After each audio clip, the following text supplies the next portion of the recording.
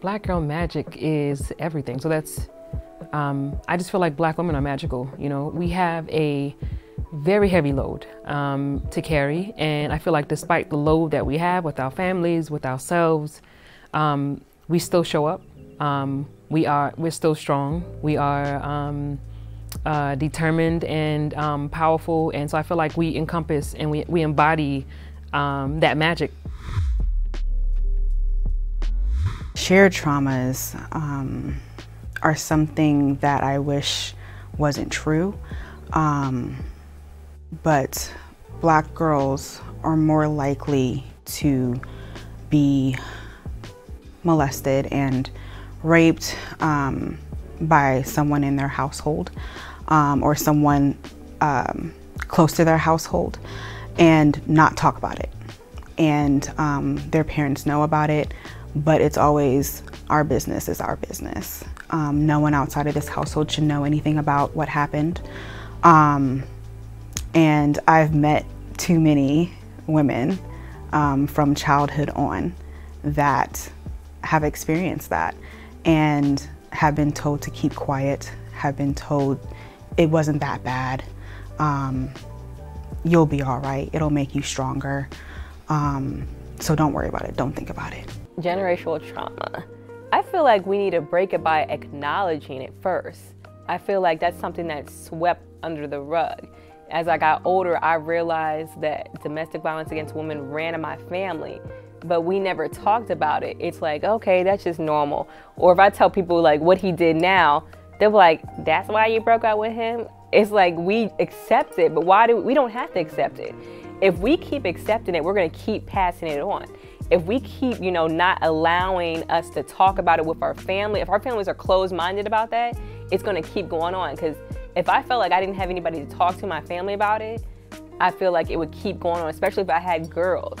So if I had girls and I wouldn't pass on that knowledge to them because, you know, it's just a closed subject, there's no way that we'd be able to break that generational trauma. It would just keep going on and on and on.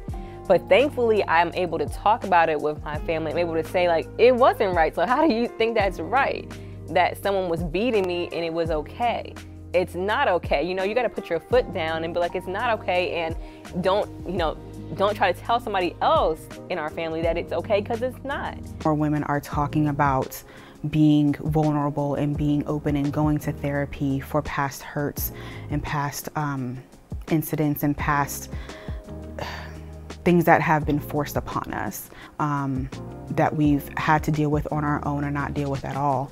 Um, and that I love that as well because there's a resounding healing that's happening amongst us. We, um, we need the help, but we're not asking for it. And uh, I think black women particularly, I feel like that's a women's disease in general, but particularly black women, we're so accustomed to holding the load that we just, we just bear it. And we don't sometimes just drop the load. And um, I think that would be accomplished through supporting one another with um, whatever it is that we need, you know, because um, we're all experiencing the same we all have the same load. It might be different, you know, bags, but it's the same load.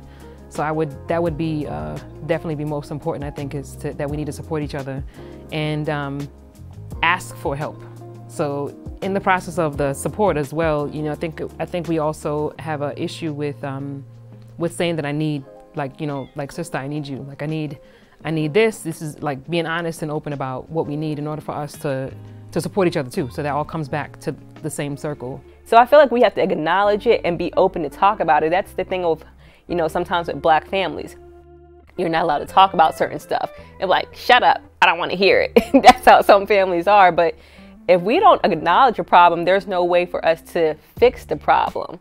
So I feel like we need to acknowledge it first and be open to talking about it. I, I just, I'm always hopeful that we're coming out on the other side and coming out more resilient and, uh, and stronger. Um, and having weak moments doesn't make us completely weak or incredible or like, or it doesn't discredit us um, whatsoever. Um, and so I'm, I'm loving the, the change I'm seeing with that.